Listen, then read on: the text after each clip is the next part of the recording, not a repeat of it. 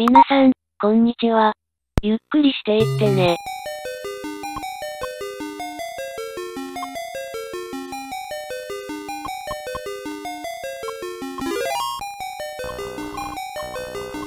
エポック社より1990年9月14日に、ファミコン用ソフトとして発売されたロールプレイングゲーム。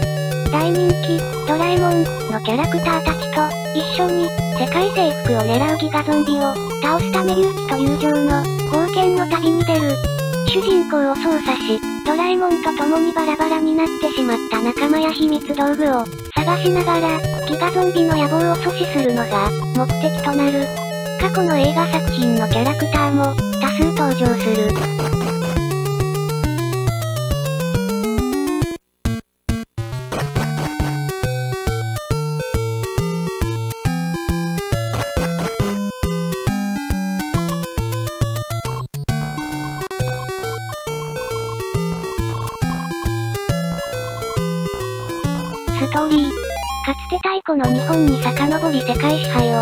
企てるも、ドラえもんたちの活躍によって、逮捕された時空犯罪者ギガゾンビが、脱獄し、過去に遡ってドラえもんたちが、倒してきた悪役たちを復活させ、再び世界征服を企み始めた。そのことを察知したドラえもんとのび太たちは、タイムマシンに乗ってギガゾンビのいる時代へ飛ぶが、それに気づいたギガゾンビの手によって、引き起こされた時空乱流に、巻き込まれチリチリになってしまう。ただ一人現代に放り出されたドラえもんは、主人公である少年、少女に助けられ、仲間たちの救助とギガゾンビ打倒に助力してくれるよう懇願する。こうして、主人公は世界の平和を守るべく、ドラえもんと共に魔界、海底、地底、古代の4つの世界へと旅立つのだった。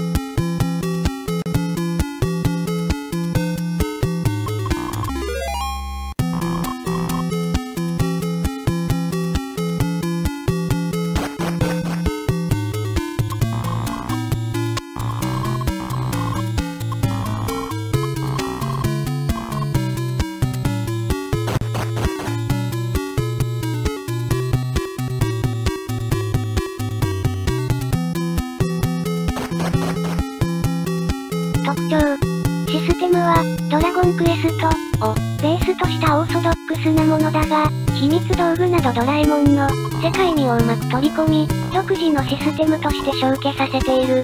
ドラえもんのゲームでは非常に珍しく主人公はオリジナルキャラ。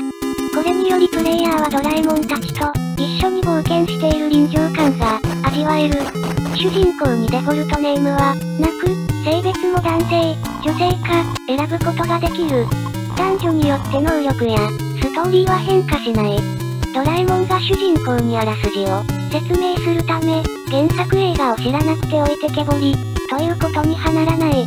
ドラクエ6の5年前に、いわゆる道具袋システムとして、4次元ポケットを取り入れたことは大きい。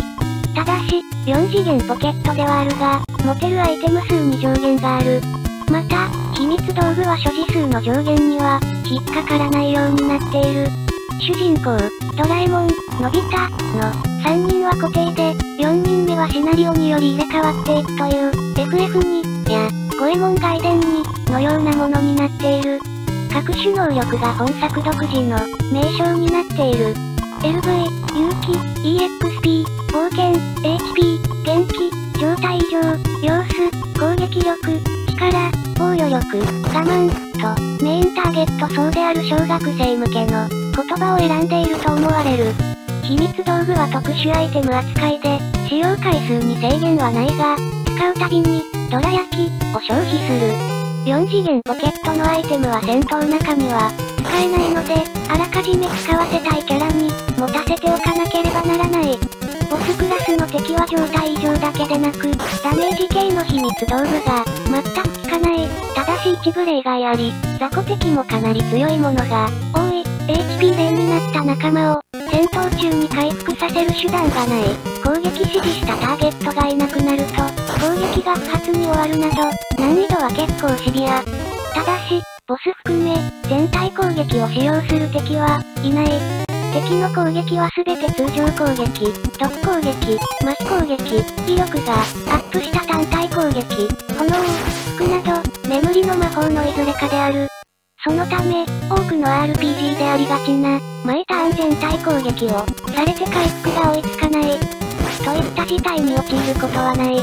そのため、ボスの攻撃に2度耐えられれば、元気を全回復させるファイト小槌が、間に合うため、実質負けることはない。また、最高レベルは60だが、最高レベルに近づくにつれて、レベルアップごとの能力の上がり方が凄まじいインフレを起こし、最終的にはラスボスすら楽勝で倒せるほどになる。ある意味では救済策とも言えるだろう。特に地底編のボス、土玉マスターには多くの子供たちが苦戦を強いられた。その強さは、下手をすればラスボスより C と揶揄されたほど。ただし、全滅してもセーブ地点に戻されるだけで、それまでに稼いだ経験値や、ドラ焼き、金券 MP、はそのままといった救済措置は取られている。また、敵にネズミが含まれていると、ドラえもんが自動的に麻痺状態になり動けない、など原作を大切にした作りは、キャラゲーとして申し分ない。そのせいで、難易度が上がってもいるのだが、装備品は基本的に戦には、売っておらず、宝箱からの入手となるので、宝箱の回収が極めて、重要になる。原作でおなじみの秘密道具も、各種登場。戦闘中に使えるものだけでも、チャンピオングローブ、アタールガン、ゲラメソプンピストル、竜巻ストロー、衝撃波ピストル、空気砲、無敵砲台、中身水トール、スモールライト、バリアーポイント、ETC、と、数は半端なく多い。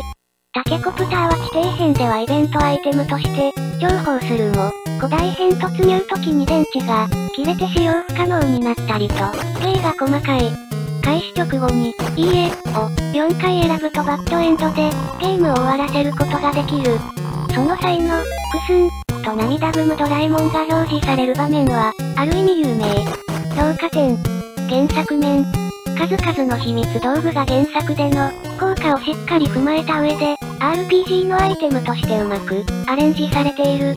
タイムマシン、タケコプター、バギーちゃんなどの戦闘外での、道具の使いどころ、役割もうまく配備。アイテム仕様にドラ焼きを消費。そのドラ焼きは敵を倒した数に、応じて街でドラミから補充するというドラえもんならではの、システム。戦術のように MP の、役割も持つが、メンバーで共有されており上限も、実質ないという特徴がある。のび太は途中加入かつレベル1だが、育てれば最後まで戦える。ジャイアンは、大長編での、頼れる男、ぶりを表す強さを、見せる。静かは打たれ弱いなど、原作に沿ったキャラ付けで共に、戦う。反面、スネ夫は海底編ラストでようやく、加わり、ボスのポセイドン撃破後は離脱してしまうので、参戦期間が非常に短い。ただし、離脱後に彼らしいエピソードが、用意されている。シナリオは魔界、海底、地底、古代、各編ということもあって劇場版ゲストキャラもほぼ全員が登場している。ビオルコ、エル、バンホー、ククルといった味方の面々はもちろん、蒸気以外の劇場作でも、ボス的には、パラレル最遊記の、金閣、金閣、鉄人兵団の主張雑魚的に至っては、のび太の、魔界大冒険、のトゲムシ、リン、デビルモンキー、宇宙開拓士、のでんでんワニといったマイナーなチョイスまである。ギブミー、なんかくれ、なんもないと、圧巻米、当選簿、ハイパーボロ、などといった腰砕けまとなネタ雑魚敵も、多いが、ちなみに、圧巻米、は、ジャングルクロベイに登場した別館この仮像の色を変えただけで、ハイパーボロ、は見た目が21エモンのゴンスケそのまま。魔界では、魔王デマオンを倒すために、原作で用いた、金の矢を使って倒すことができる。というより、使わないと苦戦必至なのだが、古代では本作オリジナルキャラとして、謎の少女テラが登場し、ストーリー上の重要人物になっているが、オリキャラとはいえ他の劇場作キャラと、比べて違和感も特になく、自然に物語に溶け込んでいる。劇場版で作り出された3匹の、ペットは残念ながら登場しないが、装備品として、ペガサスの、歯、グリフォンのガ、ドラゴンの、が手に入る。劇場版での悪役だったギガゾンビも、本作で大幅な掘り下げが、行われた。グラフィックの再現度は非常に高く、ファミコンの制限の中で最大限にらしさを演出している。マップ上のチビキャラも雰囲気はよく出ているし、会話時に表示される大きめの顔アイコンはとてもレベルが高い。主人公含め何人かいるオリジナルキャラも世界味によく溶け込んでいて違和感がない。システム面、難易度設定が非常に良い。難しくもなくぬるくもなく、王道 RPG として捉えれば、申し分ない。きちんとレベルを上げて装備品を整え、秘密道具を駆使して戦おう。フィールド上では、相談、コマンドによって、次の目的地を確認したりヒントを聞くことができる。このため RPG に不慣れでも、詰まりにくい。BGM も非常に評価が高い。特に魔界編、指定編のフィールド BGM は本作屈指の名曲である。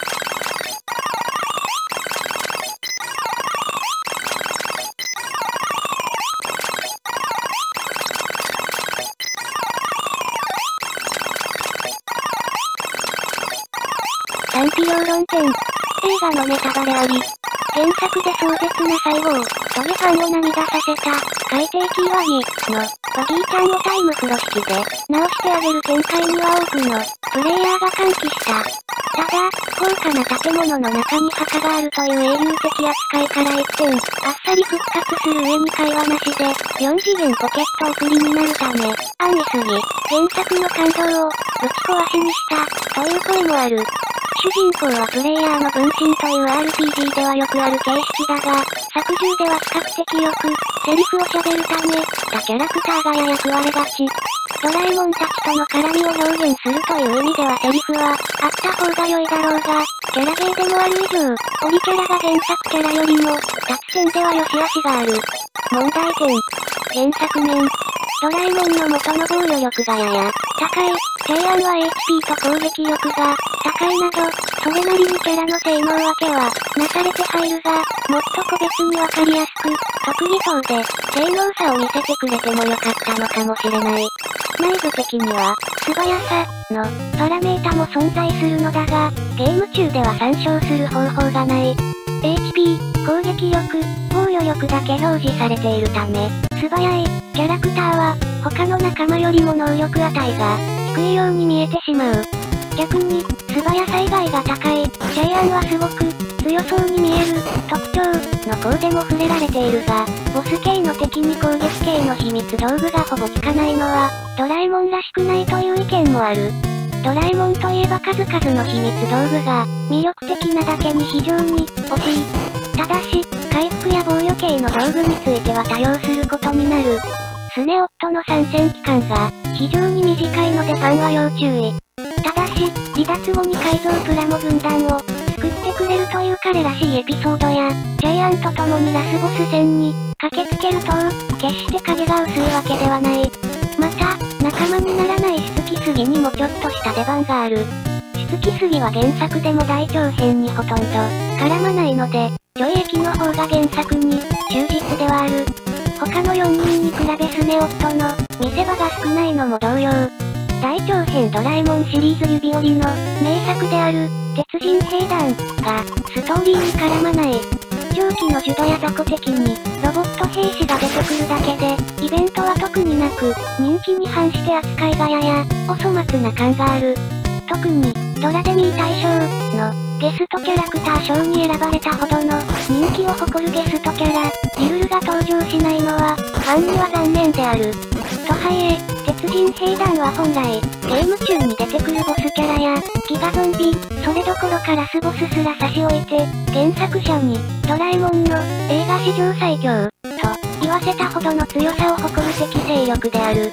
ちなみに、作者がそう発言したのは、本作発売より後の1991年。日本誕生は1989年の作品、彼らの尋常じゃない強さを認識していたからこそ本作のスタッフもシナリオには絡めなかったのかもしれない。また、最後にそもそも鉄人兵団の存在がなかったことになるのと、同じく存在しないことになったリュールの余韻を残す結末からあえて手を出さなかった可能性もあり得る。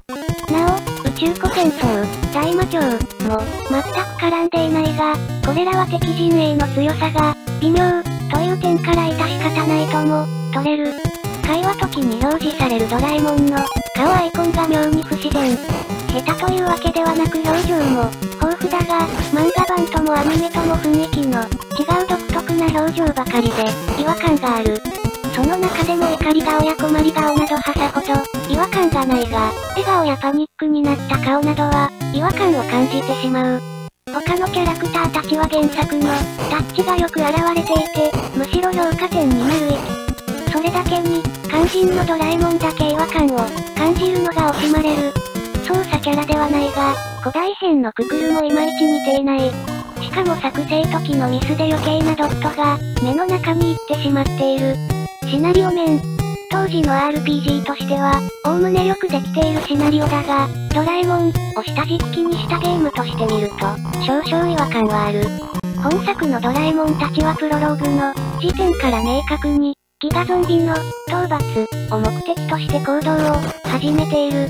大長編作品では、ドラえもん一葉が遊びに出かける、家出する、などの様々な理由で、物語の舞台となる世界に、赴いたところ成り行きで事件に巻き込まれその中で背後に存在するワルと戦うことになる、というパターンが、おおむね踏襲されており、ドラえもんたち自ら能動的に、悪者退治に赴いたことはないので、その点を鑑みると違和感は否めないところ、ゲストキャラに助けを求められたり世界や人間社会に危機が迫ったりして、悪者退治に赴くこと、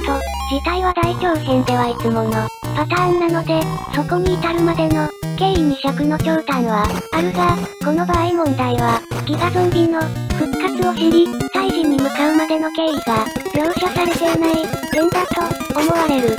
タイムマシンでの超空間移動中に、襲われトラブルが発生するのは、のび太の恐竜を踏襲しているし、はぐれた仲間を助けに行くのもこの作品より後に、公開のドラビアンナイトなどでも見られるように、ドラえもんらしい展開である。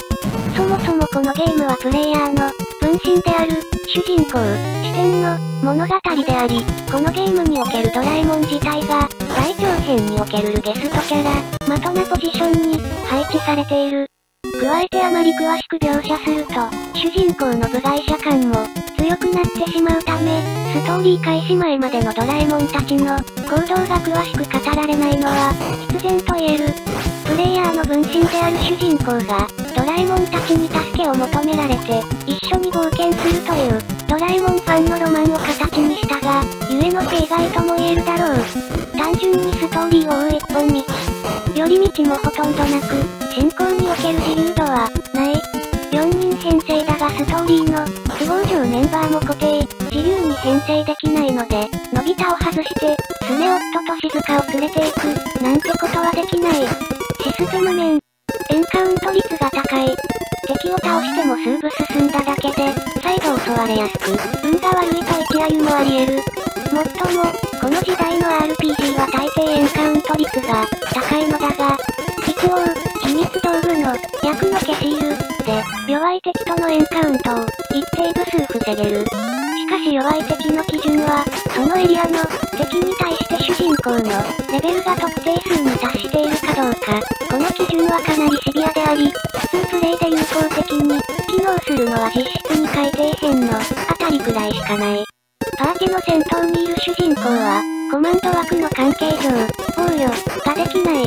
とも、主人公は攻撃力が高く、基本的に防御コマンドを使う場面がないのでほぼ気にはならないが、パーティメンバーの4人にはゲスト参戦扱いの枠になっており、仲間の入れ替わりが激しい。そのため、タイミングによっては大幅な戦力ダウンを余儀なくされてしまう。特に中盤でパーティに加わり強力な専用アイテムを使えるジャイアンが抜けてしまうのはかなり痛い。ゲストキャラの EXP、冒険、は、引き継がれていくのだが、仲間から外れている間は EXP を得られない。メンバーが4人揃っている時にしっかり稼いでおかないと、ゲストキャラだけレベル、勇気、が、低くて足手まといになってしまう。装備品は基本的に購入できないので、街、ダンジョンで拾い損ねると、難易度が跳ね上がる。つや二つならそこまででもないが、いくつも続けて見落とすと辛い。特に秘密道具の通用しないボス戦は泥仕号なので、装備品の有無がかなり響く。もっとも、宝箱のある民家は入った瞬間にそれと、わかる構図になっているため、そうそう取り逃すことは、ないだろう。秘密道具の大部分は宝箱からの入手である。クリアした世界には戻れないこともあって、取り逃しのダメージは大きい。一応補足すると、ファミコンやスーファミの絶頂期の RPG は、新しい街やダンジョンにおいて、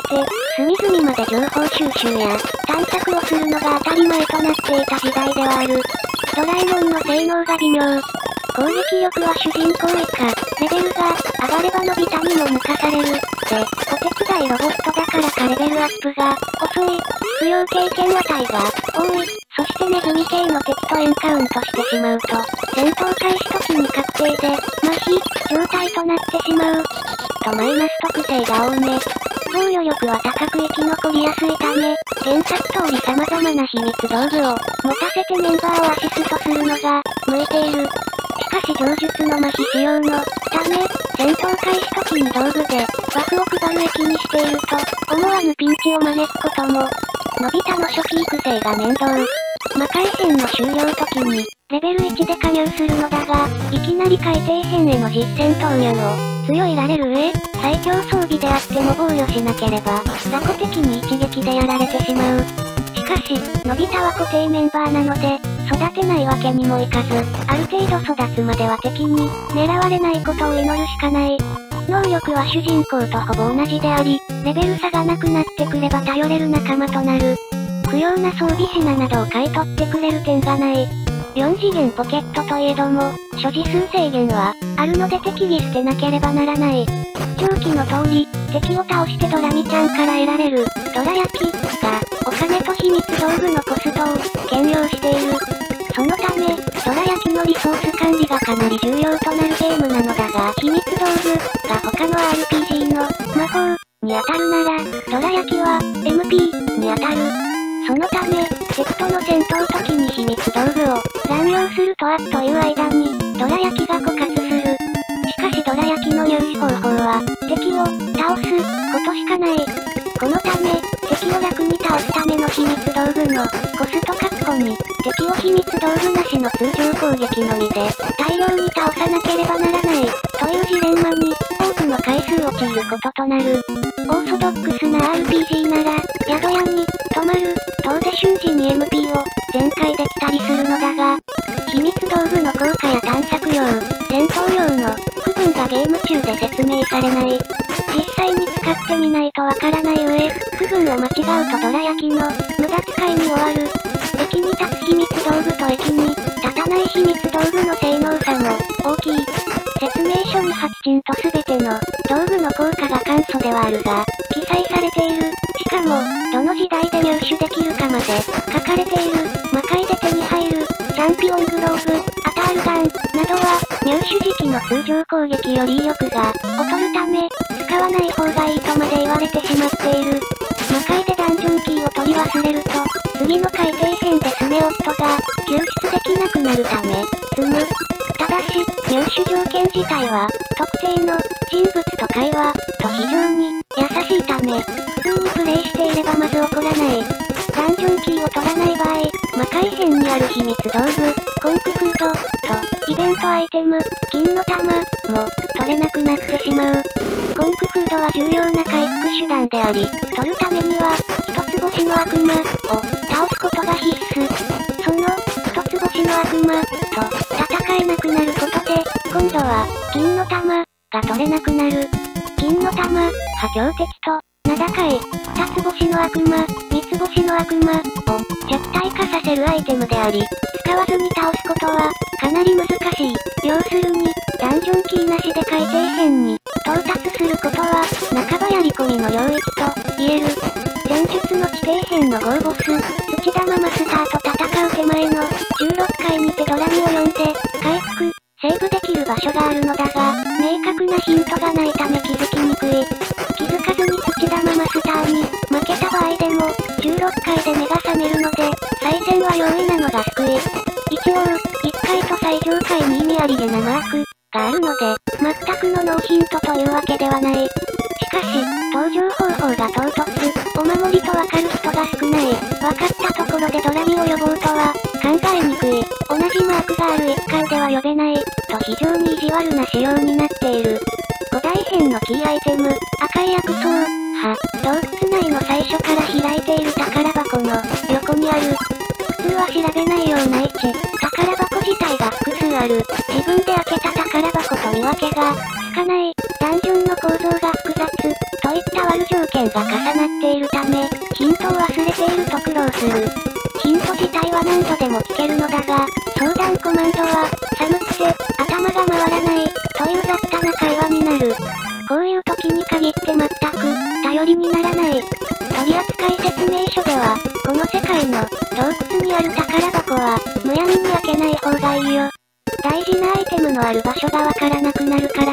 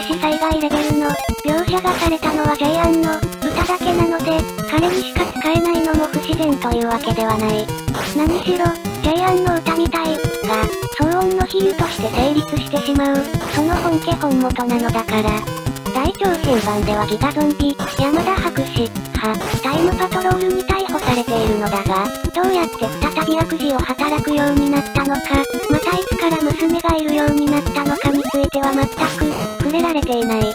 攻略本には本作の、漫画版が掲載、というよりむしろ漫画版が、メイン、全120ページ中、80ページが漫画、となっており、原作ドラえもんも意識した内容になっている。作画は漫画版、ザ・ドラえもんズ、で、知られる田中道明。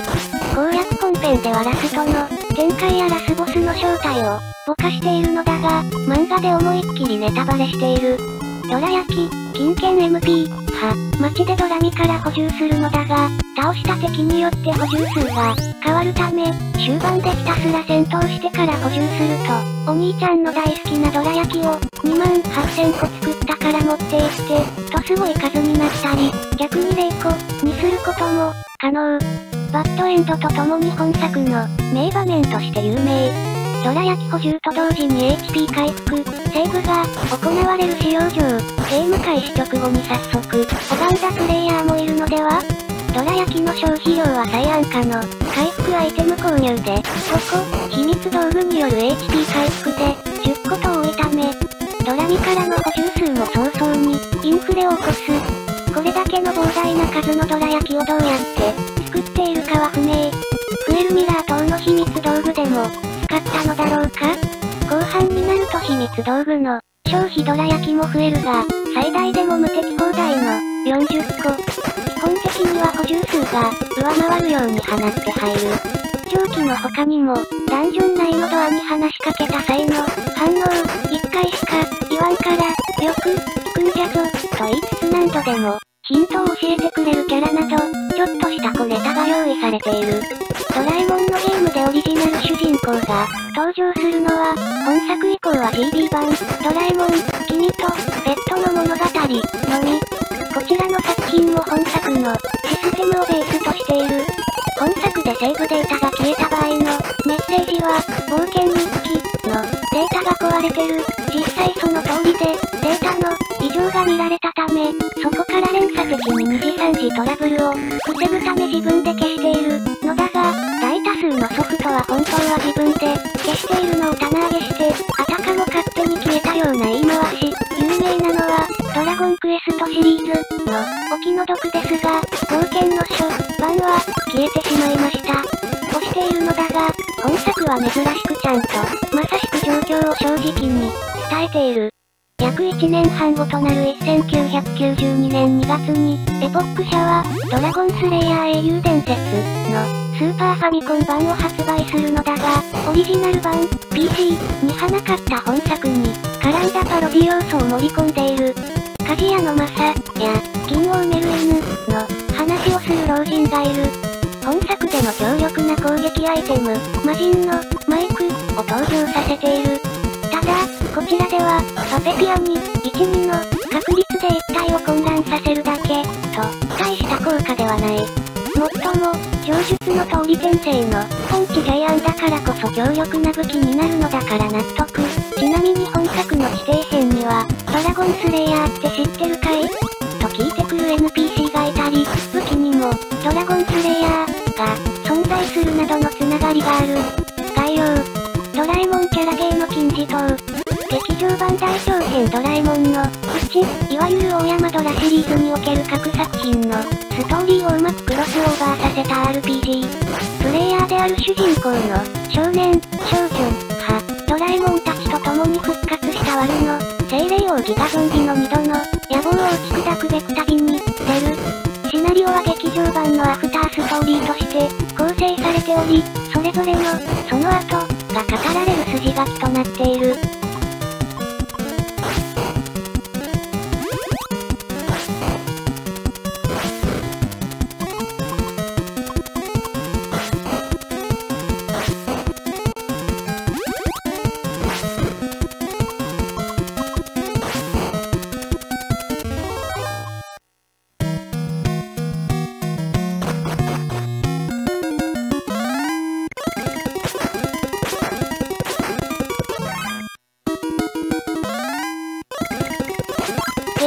誰を推薦?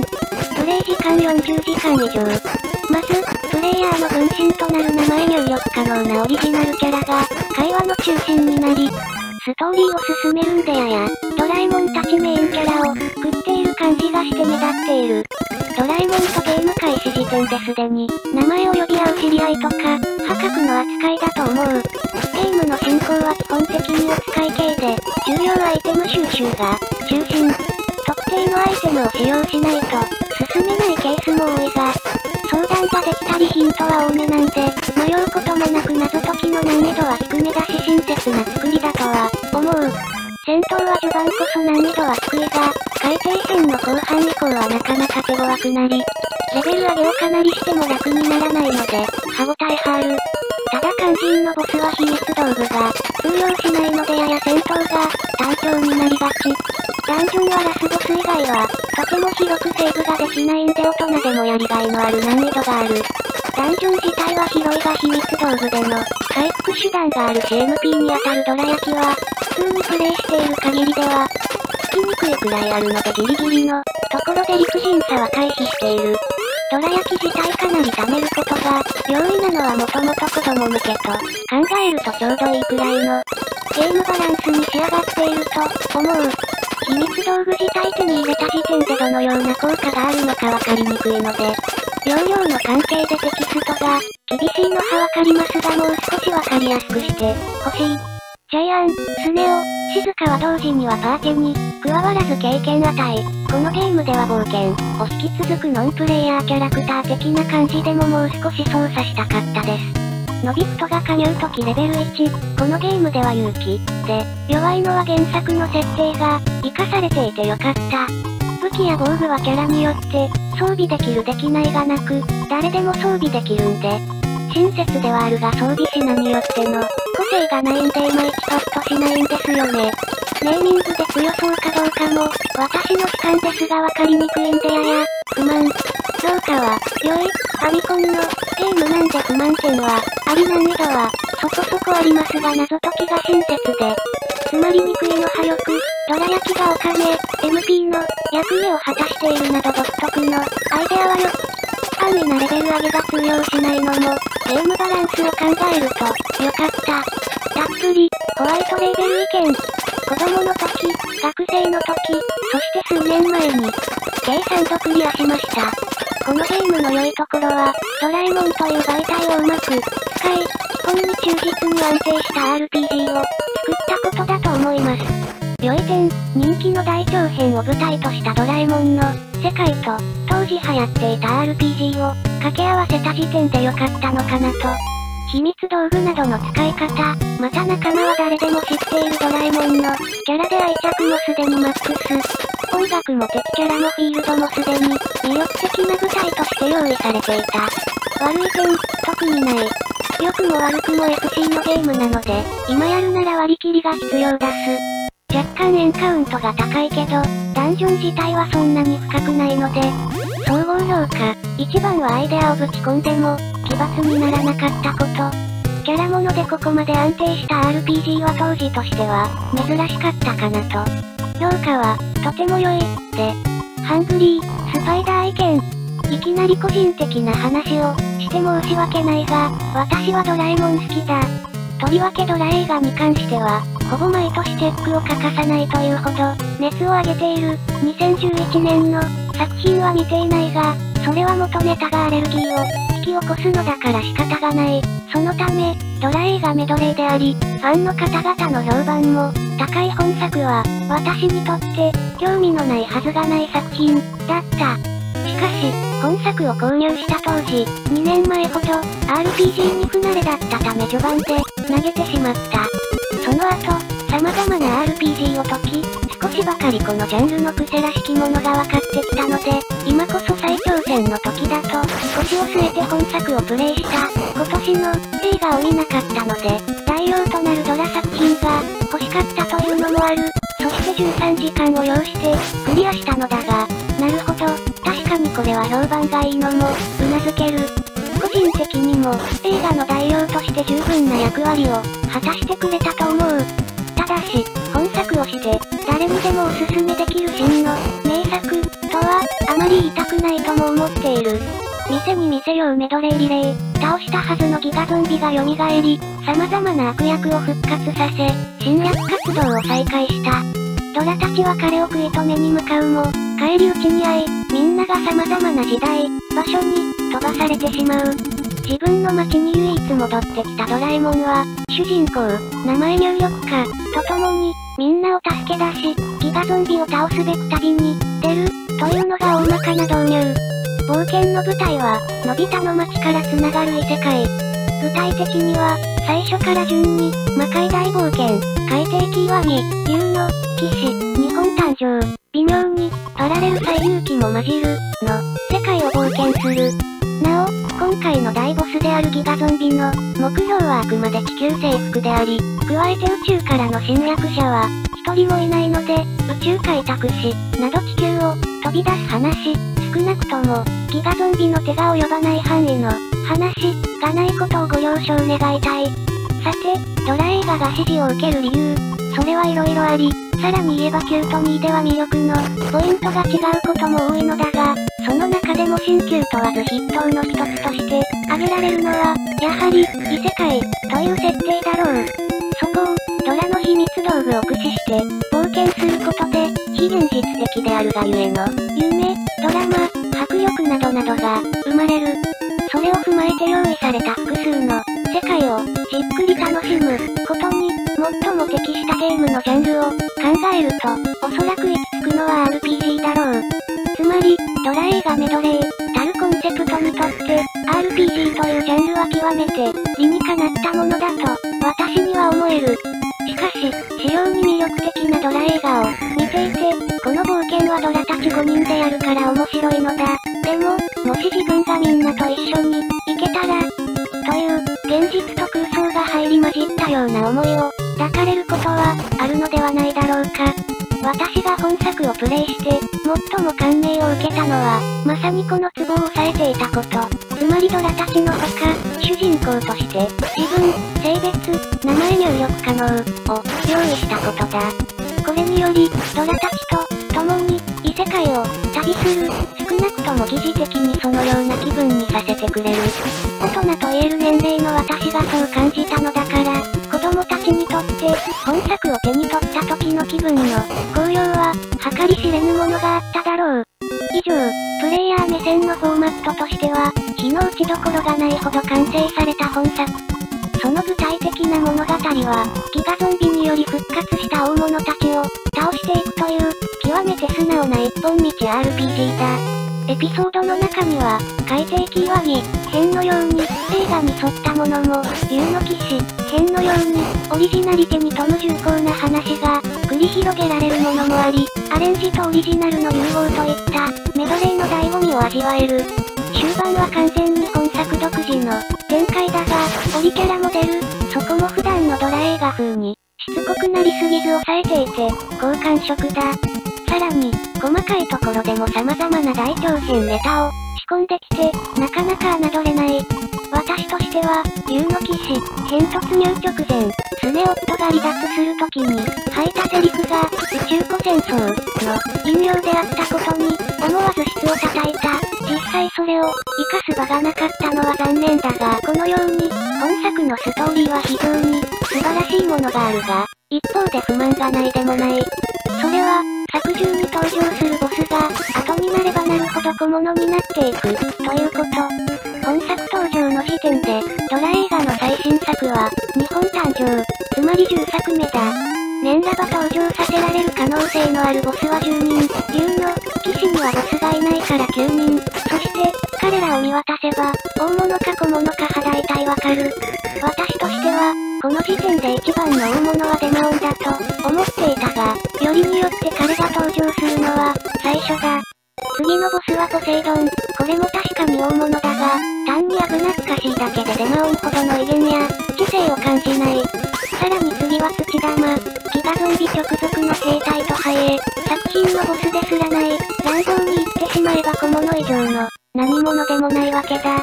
タイトルになっているギガゾンビも、確かに頑張って吐いたけれど、戦術のデマオンや、圧倒的知性でドラたちを、追い込んだドラコルル、クールな魅力のあったキラーウィンに、比べるとインパクトに欠ける。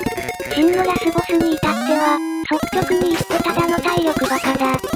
これは相当なファン、オタ、目線ではあるし、作品のストーリーもギガゾンビを、ボスに据え、それゆえの内容で天末ってもいるので、的外れな不満であることは承知だ。それに、繰り返すが本作の話は実に、豊富なサービスと、原点へのリスペクトを強く、感じさせる、とても気持ちのいいものだ。しかし、私が張っているアンテナが、受信する周波数は、本作の発する電波と若干の、ズレがあった、ということで、この辺の不満は勘弁していただきたい。本的には満足しているのだから。上等戦線以上。なし、ドラ映画メドレーがストーリー的に、RPG 向きであることは先に、指摘した通りだが、それ以上に、上編短編に関わらずドラえもんという作品自体が、RPG と良好な相性を、持っているように思う。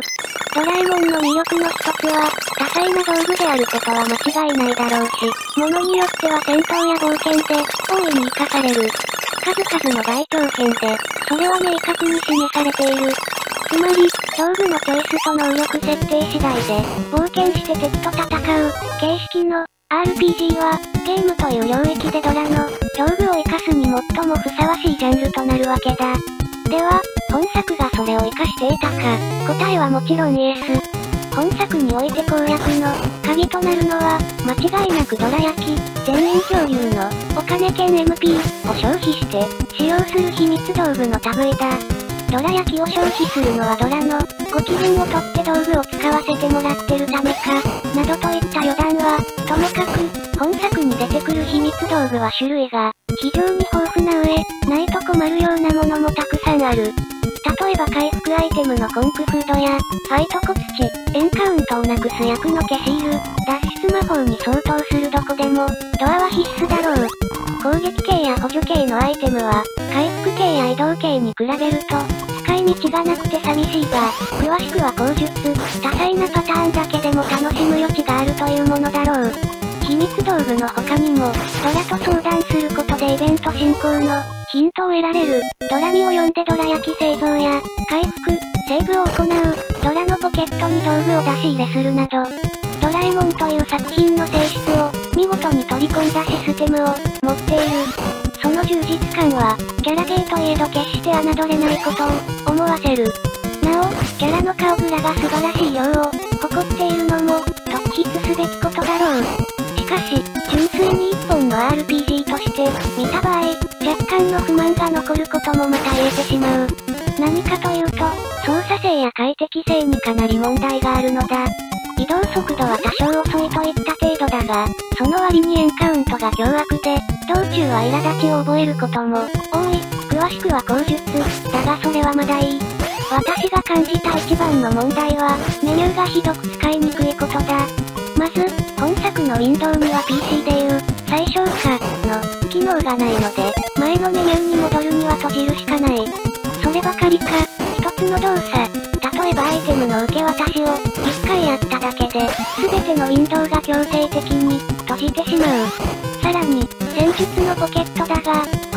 では獲得したアイテムは性質に、関わらず全て一旦はドラの、ポケットにしまわれるので、装備品にしても秘密道具にしても、使用する際はドラのポケットから取り出す必要に、迫られる。この点の何が厄介かというと、アイテムを獲得する都度、いちいちゲームの流れが中断されてしまい、文法著しく害してしまうことだ。特に、一度に複数の装備品を入手した時や、手持ちの道具の整理をしたい時など、装備の付け替え、アイテムの入れ替えに恐るべき時間を取られる。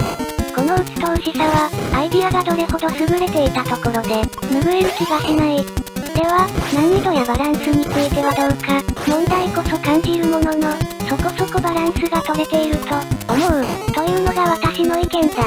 バランスの問題というのは、戦術した秘密道具の、使い勝手と、エンカウントの異様な高さを、指す。まず前者に関しては、攻撃系の秘密道具の、使い道がかなり限られてしまう。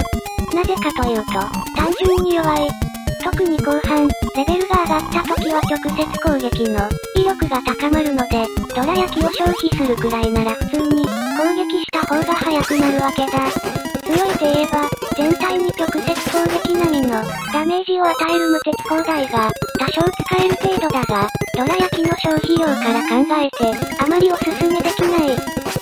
そして後者、これは単にテンポが悪くなるという問題なのだが、それでも本作はダンジョンが、非常に広いので、歩き回るだけでも結構な時間がかかり、そこに凶悪なエンカウントが、加わると、さすがに億劫さが否定できなくなる。つまり、エンカウントと広さのバランスが、取れていないのでは、思えて仕方がないわけだ。しかしながら、それでも破綻しているとは言い難い。確かにエンカウントは厳しいが、戦闘自体はスピーディーに、進んでいくし、敵の数とてあまり多くないので、1回の戦闘は割に早く、終わる。ちなみに言えば本作には、自動的に狙いが切り替わるといった便利な機能がないので、攻撃時は相手の HP を、計算してキャラを割り振る必要あり、それに、敵自体も攻撃力こそ高いが、誰も全体攻撃を持っておらず、たまに異常攻撃、すべて、お医者さんカバンで治せる、おかます相手がいる程度なので、回復さえ絶やさなければ苦戦しないし、その回復に必要なドラ焼きも、多めにもらえるので、そう簡単に手詰まりになることはない。また、そもそもの話、レベルアップに必要な経験値及びボスの攻撃力を感情に入れると、このくらいのエンカウントでレベル上げするくらいが、ちょうどいいように思える。単に、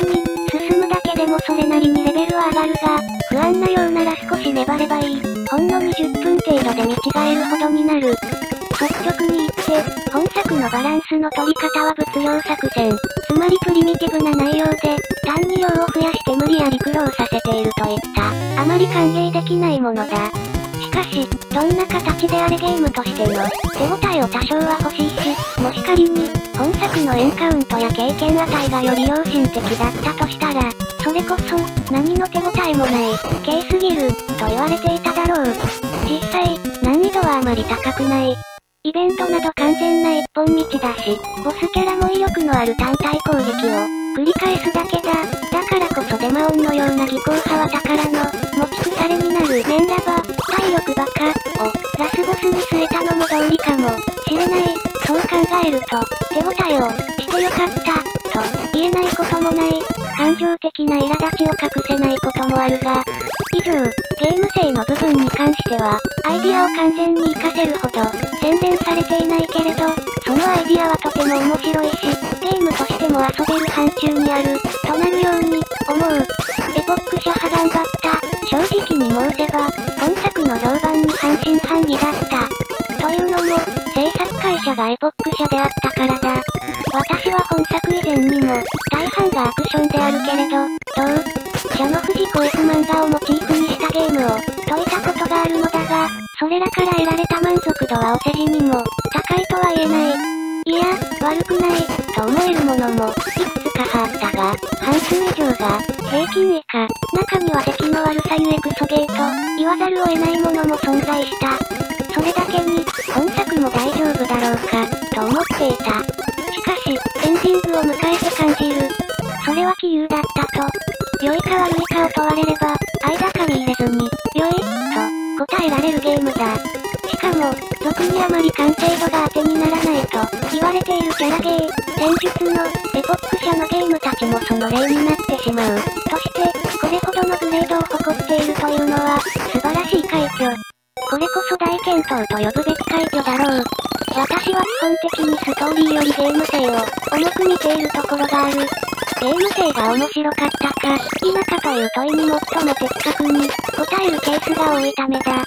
それは本作にとっての例外ではなく、環境や設定の荒さ、甘さが目立ち、それがプレイを阻害していたことは否定できない。さりとて、基本的なゲーム性は決して破綻しておらず、遊べるということには間違いない。それに、こと本作に関しては、ストーリー、キャラゲーとしての優秀さがかなりの部分をカバーしてくれたように思う。私が本来的にドラ映画をついている、ただし例外あり、本年度の映画もそれだ、ということも含めてではあるけれど、キャラゲーはそもそも、そういう人を対象に作られているのだから、それはそれで本懐が果たされた一例と言うべきだろう。以上のことから、私の本作に対する評価、感想、は、良い、とさせていただこうと、思う。キャラゲーとしては、とても、おつけるか、否か迷ったが、一本のゲームとして早や、弱いと感じた。最後に、私は本作のリメイクには、反対である。